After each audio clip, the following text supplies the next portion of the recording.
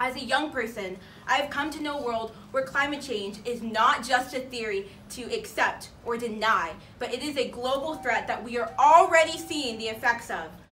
It's called the Green New Deal, a platform pushed by some Democrats designed to tackle climate change while stimulating the economy. So, what exactly is it?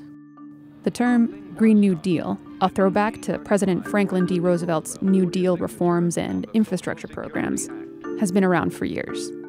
One of the earliest mentions was in 2007, in a column by the New York Times' Thomas Friedman. By 2008, the concept continued to evolve when then Green Job czar Van Jones used the phrase to describe a plan to increase medium skilled jobs in green sectors.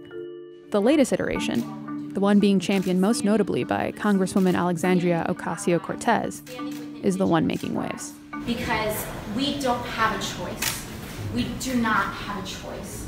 We have to get to 100% renewable energy in 10 years.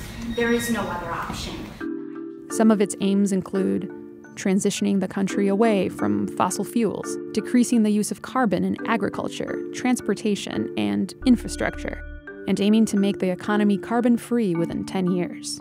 It also seeks to tackle income inequality through a federal jobs guarantee program that assures a quote, living wage. Many other high profile progressives, from freshman lawmakers like Rashida Tlaib and Pramila Jayapal to more establishment figures like John Lewis, have shown support.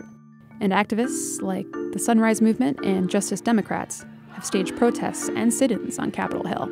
Despite support for the creation of a select committee in Congress, Senate Republicans have openly criticized the effort, calling the measure expensive and, quote, impossible to afford.